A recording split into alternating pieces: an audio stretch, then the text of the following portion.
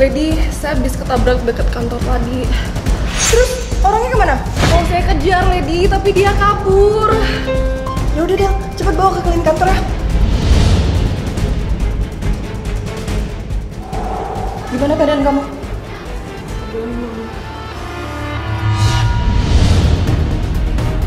Tia, Tia, Lady, ini sudah darurat.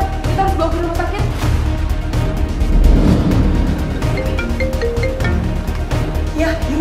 Tia? Satya terselamatkan Lady, namun ia terkena gagal otak sehingga ia harus dirawat inap di sini selama sebulan Lady.